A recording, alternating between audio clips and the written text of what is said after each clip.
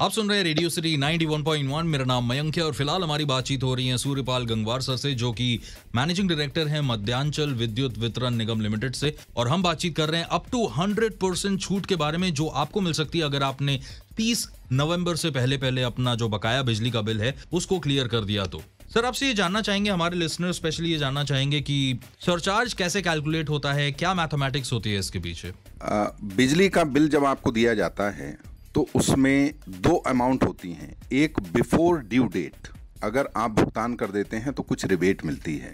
और after due date उसका payment एक निश्चित अवधि तक आपको करने का समय दिया जाता है। अगर जो लास्ट ड्यू डेट है, उस तक आप भुगतान नहीं करते हैं तो उस पर सरचार्ज यानी इंटरेस्ट लेवी होना शुरू हो जाता है। और ये पहले तीन महीनों तक 1.25 परसेंट पर मंथ के रेट से लगता है। तीन महीनों के बाद ये जितनी भी बैलेंस अमाउंट है, उस पर दो परसेंट पर मंथ के हिसाब से ब्याज यानी सरचार्ज लगने लगता है। कई लोगों को ये जानकारी नहीं होती है और ये सरचार्ज इकट्ठा हो जाता है उनके बिलों में। और फिर एक स्थिति ऐसी आती है कि वो बढ़ के इतनी अमाउंट उसकी हो जाती है कि वो लोग इसे अदा करने की स्थिति में नहीं रहते हैं।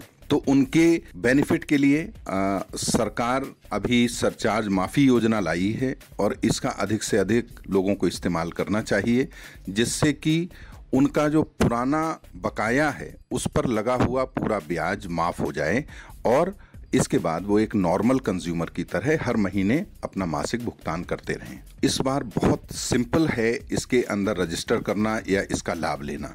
आपको एक मुश्त भुगतान करना है तो रजिस्ट्रेशन की आवश्यकता नहीं है।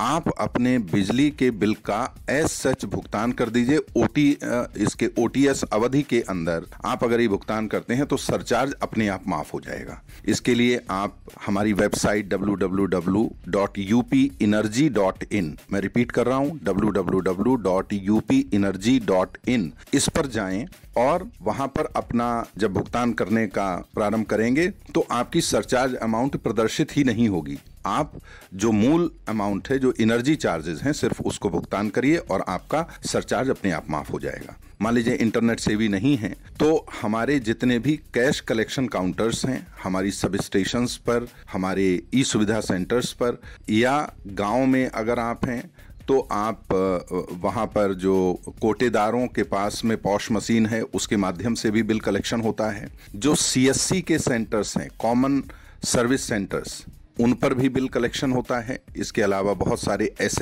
हैं सेल्फ हेल्प ग्रुप्स जो कि एक्टिव हैं। उनके पास भी आप अपने बिलों को जमा करा सकते हैं और रसीद ले सकते हैं। तो जब आप ये अपना बिल जमा कराएँगे और उसकी रसीद ले लेंगे उसके बाद जो आपका आ, अधिभार लगा हुआ है या सरचार्ज लगा हुआ है, वो ऑटोमेटिकली माफ़ हो जाएगा टू दी एक्सटेंट जो स्कीम में प्रोवाइडेड है। तो अगर आप भी उन लोगों में से एक हैं जिनका कुछ बिजली का बिल बकाया है तो सरचार्ज को 100 परसेंट तक माफ़ करवा सकते हैं आप। 30 नवंबर तक का समय आपके पास, उससे पहले अपना बकाया आप ज़रूर पे करें और सरचार्ज में छूट पाएँ। बने रहिए मयंक के साथ, सुनते रहिए रेडियो सिटी